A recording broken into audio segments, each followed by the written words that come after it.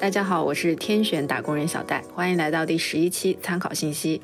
首先关注宏观政策。十二月十六日，一年一度的中央经济工作会议闭幕。会议提出，要大力发展数字经济，提升常态化监管水平，支持平台企业在引领发展、创造就业、国际竞争中大显身手。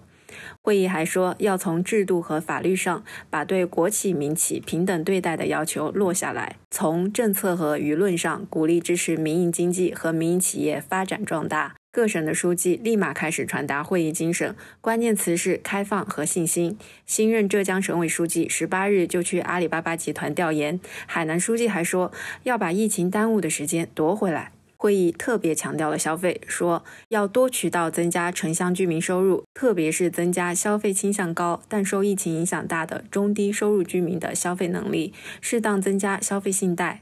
人民日报微镜头栏目也引述领导人的话说：“从改善社会心理预期、提振发展信心入手。”国家统计局十五号承认，十一月居民出行减少，消费场景受限。非必需类商品的销售和聚集型的消费受到明显冲击，社会消费品零售总额下降百分之五点九。十八号，曾任国际货币基金组织副总裁的中国国际经济交流中心副理事长朱明说：“今年的消费比二零一九年还要低，比去年跌了两万亿，基本上是两个百分点的 GDP。这也是今年经济增长没有达到预期的重要原因。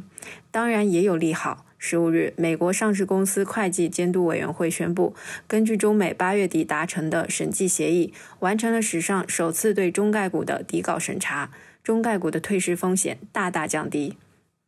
此外，十九日，中央发布了关于构建数据基础制度，更好发挥数据要素作用的意见，提出二十条举措，包括鼓励探索数据跨境流动与合作的新途径、新模式，对平台而言也是个好消息。下面继续关注疫情。关于疫情防控政策的调整，中央财办负责人解释，过去在重症率、致死率高的情况下，我们严格防疫是必要的、正确的、负责任的。当前病毒传染性高，但重症率、致死率显著降低，疫情防控主要矛盾发生了变化。我们审时度势、科学优化防疫措施也是必要的、正确的、负责任的，都体现了人民至上、生命至上。随着各地感染数仍在不断上升，居民的用药需求激增。江苏苏州、无锡、山东、陕西西安开始把原来的核酸采样点改造为发热诊疗站或便民医疗点，一些地方还在这里向患者投放平价的退烧药。全国都有这个条件，现在少数地方做到了，成了新闻，说明还有更多地方没有做到，可以参考学习一下，也让核酸点在彻底退出居民生活前发挥一点余热。在药品供应上，新京报的记者最近探访了华润医疗商业集团在北京的物流中心。十二月一日至八日，一千一百七十万盒抗疫药品从这里投放到了北京近三百家二三级医院、两千两百多家的社区医务室和三千家药店。其中，我们的老朋友莲花清瘟占了一半，有六百二十万盒；布洛芬六十七万盒；对乙酰氨基酚三十四万盒，有数量级上的差异。除了增加投放，北京、南京、珠海允许药店对退烧药拆零销售，顾客可以按片或者按粒来购买。河南周口等地还推出了免费送药的活动，个人可以用身份证领一份的量，还有的药店自己组织免费发药活动。马督工一定熟悉药品拆零销售，从白色或者棕色的小纸袋里倒出几颗药片，这是上世纪七八十年代很常见的方式。其实现在依然是合法的途径。国家多次修订药品经营质量管理规范，都规定药品零售应该包括拆零，而国采也是按照药片或者板来计价的。按说，中国是最大的布洛芬生产和出口国，产量占了全世界的三分之一。两家龙头药企的产能开动一半就能满足需求。但是过去两年限购四类药，现在消费者扎堆囤货，造成市场缺口大，而企业需要时间度过生产周期及铺货运输的过程。提醒大家合理备药，布洛芬保质期两三年，囤多了这些药最终的归宿，最大可能就是垃圾桶。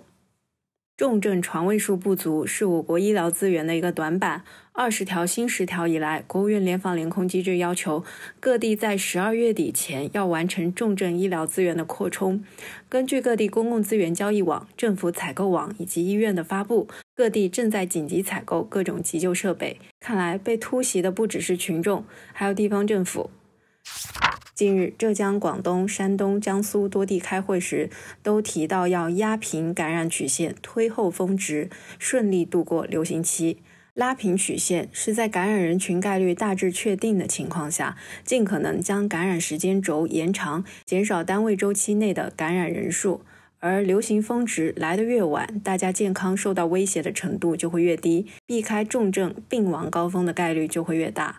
一些省份和城市透露了疫情高峰时间，基本都集中在明年的一月。